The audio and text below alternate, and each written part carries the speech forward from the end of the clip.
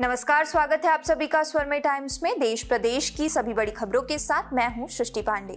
खबरों को जानेंगे विस्तार से, पर उससे पहले एक नज़र आज की हेडलाइंस पर। फिर बढ़ेगी सरकारी कर्मचारियों की सैलरी एक महीने की सैलरी के बराबर मिलेगा bonus Congress political affair committee की पहली बैठक संपन्न, कई महत्वपूर्ण विषयों पर हुई चर्चा। राम भक्तों के लिए बड़ी खुशखबरी, रामलला के दर्शन की बढ़ाई अवधि। मुख्यमंत्री बघेल ने चरामा प्रवास के दौरान 127 विभिन्न विकास कार्यों का किया लोकार्पण और भूमि पूजन। अब खबरें विस्तार से।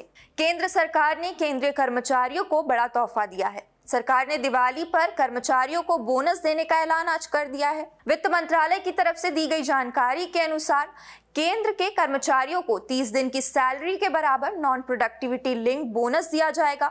इसमें केंद्र सरकार के ग्रुप सी और ग्रुप बी कैटेगरी के कर्मचारी शामिल हैं। ग्रुप बी और ग्रुप सी में आने वाले केंद्र सरकार के नॉन गजेटेड एम्प्लॉय को भी बोनस दिया जाएगा, जो किसी प्रोडक्टिविटी लिंक बोनस स्कीम में नहीं आते। इतना ही नहीं एडहॉक बोनस का फ़ायदा केंद्रीय अर्धसैनिक बलों के कर्मचारियों को दिया जाएगा।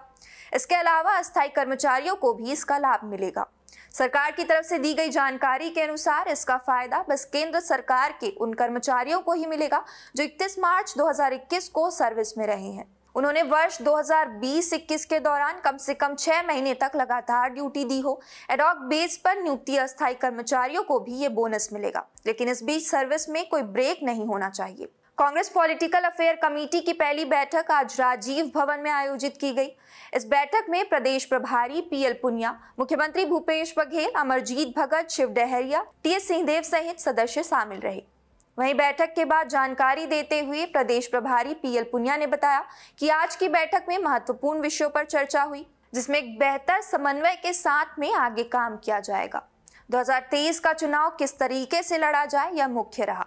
साथ ही सीएम भूपेश बघेल ने कहा, बैठक के उद्देश्यों के बारे में पुनिया जी ने जानकारी दी है। बैठक में दो प्रस्ताव भी पारित हुए। आगे चुनाव की रणनीति किस प्रकार हो, कैसे हमें जाना है, इन बिंदुओं पर चर्चा हुई। आवश्यक दिशा निर्देश प्रभारी के द्वारा हम सबको दिए गए।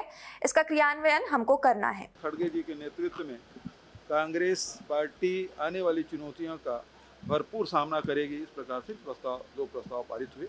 और साथ ही आगे चुनाव की रणनीति किस प्रकार से हो, कैसे चुनाव में जाना है, हम सबको मिलकर।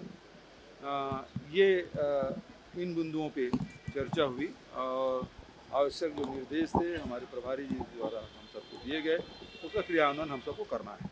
अयोध्या में राम मंदिर का निर्माण जैसे जैसे आगे बढ़ रहा है, वैसे वैसे मंदिर प्रशासन भी भक्तों के सुविधाओं को बढ़ाता जा रहा है।